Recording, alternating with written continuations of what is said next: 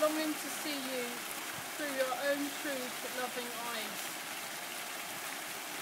Now look for an object. It could be a stone, like this one I have in my hand. It could be a plant or a tree or anything that look anything.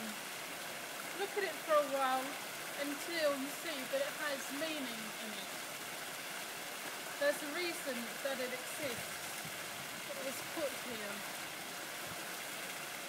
After a while, look at it again with new eyes and swap places with the object.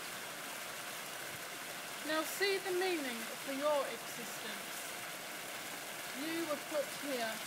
God has a plan for you.